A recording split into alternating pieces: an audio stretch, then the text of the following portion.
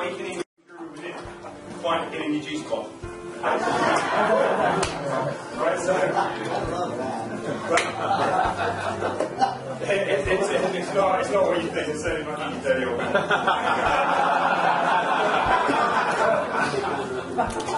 right, but before we crack into the, the main the main content of this, yesterday Rocco asked some, I think, you know, I've had a lot of really good speakers this weekend, but Rocco said something in, in his talk that really resonates with me and something that I think will make the biggest difference to every single person.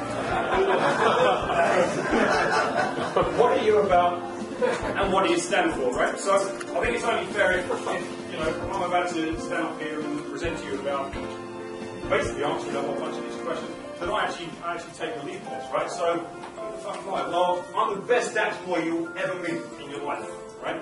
But you'll never meet me again. What I mean by that is I'm absolutely committed to excellence in my life, which means the person you see standing here today, you'll never meet that person again, ever. I'll be a very, very different person by the, by the time you next meet me. Now, this idea of excellence, the actual term excellence means to surpass, to go beyond. And if every one of you brought excellence into your life, and it only has to be the tiniest thing, you see this in the gym all the time, one more rep. Okay, not one second of your best time. If you continuously do that, you become a very, very different person throughout the course of your life. Okay? So that's what I'm committed to, and that's what I mean. I am the best Dax Moy you will ever meet. You will never ever meet this boy again. I will be better next time, next time you meet me. I'm hoping that you guys are able to say exactly the same. Unfortunately, that's not the norm in this industry.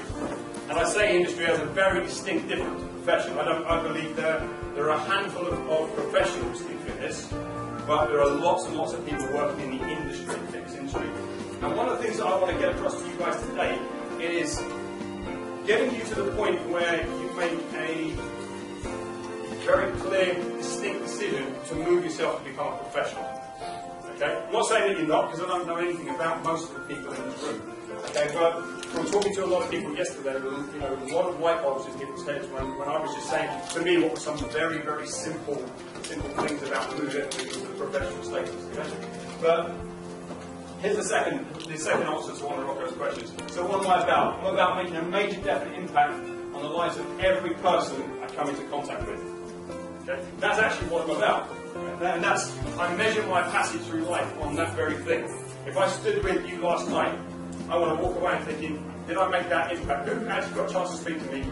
Kind of separate. Right, right don't, don't say just because I'm asking for, but did I make an impact in some way on your, on your life? Right? Absolutely. Okay, right. So that I'm able to measure that every single day of my life in every single interaction, and not just not just in the face-to-face interactions. What hopefully what you'll see from me, those of you that don't, I know lots of you don't really know me, um, but those of you that do, you'll see if you see any of my stuff on Facebook, if you see my blog podcast, I don't in the way of. I don't say there are photographs of what I ate for breakfast. Okay, there are, uh, you know, there, there aren't kind of all this bullshit to and fro in that's meaningless. Okay, I, when I go online, I go on with meaning, and my meaning is that.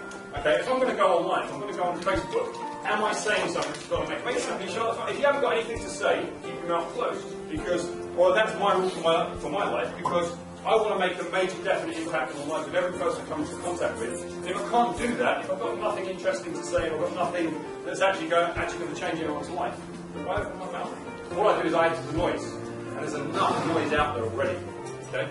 So, you know, and that, that, that will make a really big difference in, difference in your life as well.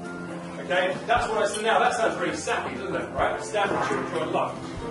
Sappy that may sound, that is the hardest passage to go through in life, right?